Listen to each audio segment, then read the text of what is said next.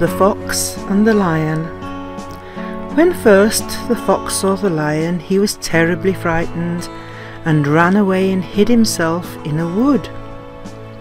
Next time, however, he came near the king of beasts, he stopped at a safe distance and watched him pass by.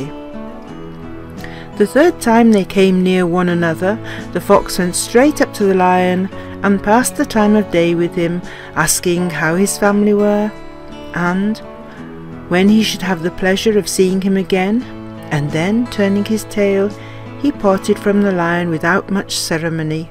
And the moral of this story is familiarity breeds contempt.